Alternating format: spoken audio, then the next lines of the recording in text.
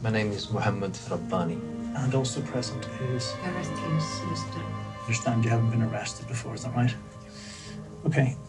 Under Schedule 7 of the um, Terrorism Act 2000, you are required to give answers to those questions about electronic passwords.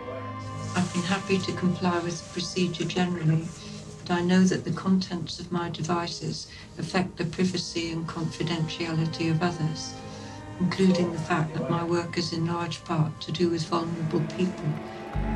Next week, I, Muhammad Rabbani, may be sent to prison for my belief in the right to privacy and source protection for refusing to hand over passwords to my electrical devices at the airport. The border power that I was held under is an example of how the balance between national security and commitment to human rights is totally misaligned